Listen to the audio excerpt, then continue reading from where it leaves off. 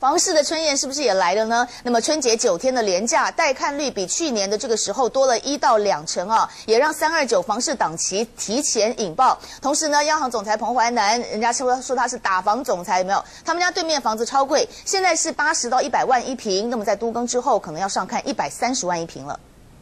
新年快乐，恭喜发财！九 A 总裁彭淮南就住在大安区丽水街这一栋三十年老旧公寓，当年一平六万购入，现在总价值粗估至少三千四百万元，算一算单平就要八十五到九十万元。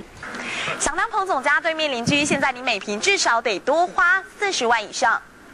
占地八百平，这块地已经开始计划都更，建于丽水永康青田，是大安区黄金三角地带。附近还有金华新生明星学校，在新义线东门站开通后，行情水涨船高。未来平向七十平以上豪宅，都更后单平最高喊价一百四十万元，普遍一百以上都跑不掉。那大概还是会有一个特色。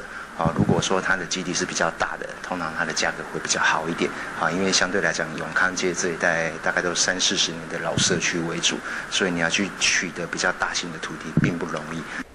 附近一带都跟预定地已经超过七件以上，小龙年房市景气回温，趁着过年九天连假，不少人提前看屋。往年比起来的话，今年我想大概多个一到两成是跑不掉的。所以三二九档期效应是有提前，确实。资金充沛，利率低，春节房市现春宴，比去年同期成长一到两成左右。再加上预售市场，让原本房仲业者期待的三二九档期提前在二月引爆。科讯资讯王嘉玲台北报道。